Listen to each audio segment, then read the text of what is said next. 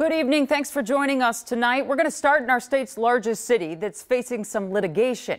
The city of Minneapolis is no stranger to lawsuits in recent years, with a lot of high publicized and high figured settlements connected to police misconduct. But there's a newly filed lawsuit that's accusing the city of racial discrimination and rental housing code enforcement.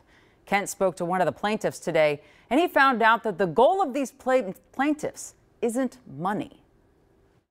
So you can kind of see how it's like chipping right here. During her eight years renting this North Minneapolis home, all this leaks. Ariana Anderson felt like she and her family were constantly fighting a losing battle. Walls would just crumble. With their landlord. My children were exposed to lead, mold, uneven foundations, heat emergencies in the dead of the winter. I just really got to my breaking point. And Anderson eventually moved out of Minneapolis because she felt like she wasn't just fighting her landlord. I contacted the city, and I don't feel like the city really had staff to support what I needed from them, and that was to get behind me, support me, make sure that my landlord is doing what they need to do. She is now one of 10 plaintiffs from across North Minneapolis alleging that the way the city approaches rental housing code enforcement here amounts to racial discrimination. There are far more housing code complaints from North Minneapolis, and yet the city chooses to assign roughly the same number of housing inspectors to that neighborhood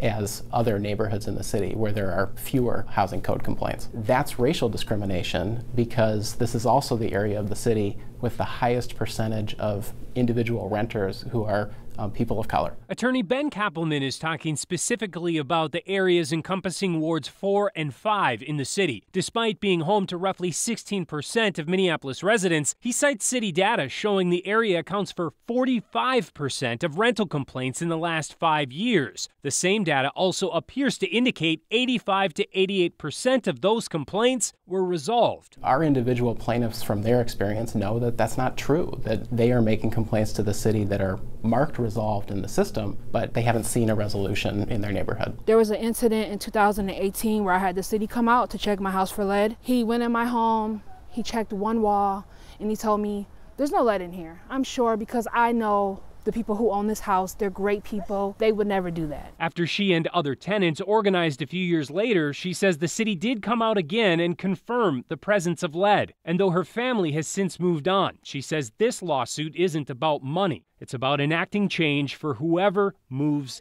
in. I would like for them to hold these uh, landlords accountable. This is really about getting the court to force the city to change, to change the way it staffs its housing inspectors, to change the way it enforces the housing code, and make sure that North Minneapolis is getting the same public services that the rest of the city is getting. A spokesperson for the city of Minneapolis sent us a statement this afternoon saying that they're still reviewing the complaint but denying that the city discriminates against BIPOC renters. It goes on to say the city works cooperatively with landlords to try to remedy issues on rental properties in order to protect tenants, minimize the loss of low income rental housing, and avoid displacing residents.